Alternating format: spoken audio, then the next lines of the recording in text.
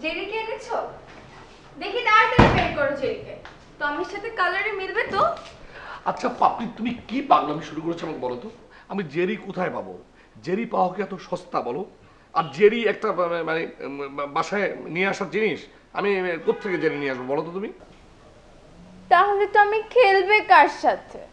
আচ্ছা ঠিক আছে টমি কার সাথে খেলবে? দরকার হলে আমি নিজে জেরি হব আমি ইঁদুর হব আমি ইঁদুর হয়ে তোমার টমির সঙ্গে খেলব।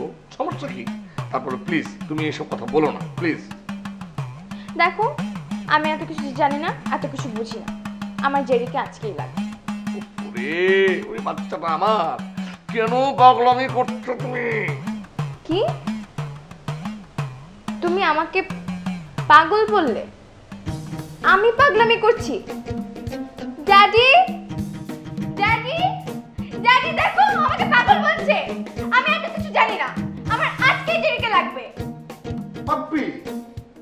কি হয়েছে পাপ্পি তোমার? না কিচ্ছু হয়নি। ড্যাডি আসলে হয়েছে কি ওই টমির সঙ্গে খেলার জন্য জেরি চায়।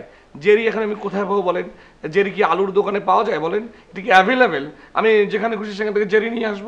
হ্যাঁ সেটা বলছি না আর কি বুঝেই না আপনার মেয়েটা। ড্যাডি ওকে জেরিকে আনতে বলো। না হলে আমি এই বাড়ি ছেড়ে চলে যাব। Oh no!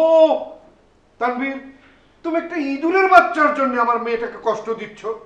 দেখেছ? যাও। যেখানে পারো যেভাবে পারো যত টাকা লাগে একটা ইঁদুরের বাচ্চার ব্যবস্থা করো। যাও। আমি পাগল হয়ে যাব। আচ্ছা ঠিক আছে যাচ্ছি।